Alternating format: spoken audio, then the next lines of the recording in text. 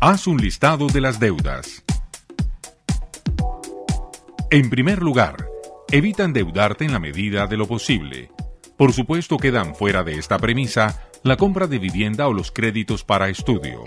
Segundo, es fundamental que proyectes en tu presupuesto tu endeudamiento, cómo abonas a capital e intereses mes a mes, y en lo posible, cuando comiences con efectividad a incrementar tu margen de maniobra, prospectar abonos extraordinarios a capital, con el fin de reducir el gasto por intereses y o terminar el crédito antes de lo proyectado.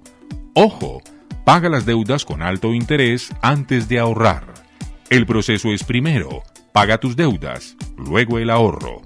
No vale la pena ahorrar al 5% de interés cuando debes en las tarjetas de crédito al 30%. Banco Omeva te ayuda a ser financieramente responsable.